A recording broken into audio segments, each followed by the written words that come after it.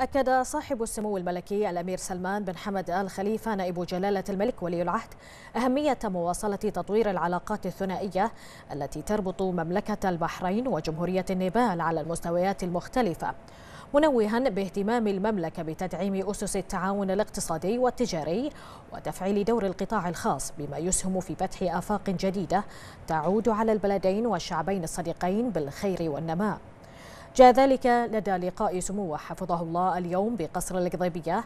سعادة السيد بادام سنداس سفير جمهورية نيبال الصديقة وذلك بمناسبة تعيينه سفيرا لدى مملكة البحرين حيث أعرب سموه عن تمنياته للسفير بالتوفيق في أداء مهامه الدبلوماسية بما يعزز من علاقات البلدين الصديقين.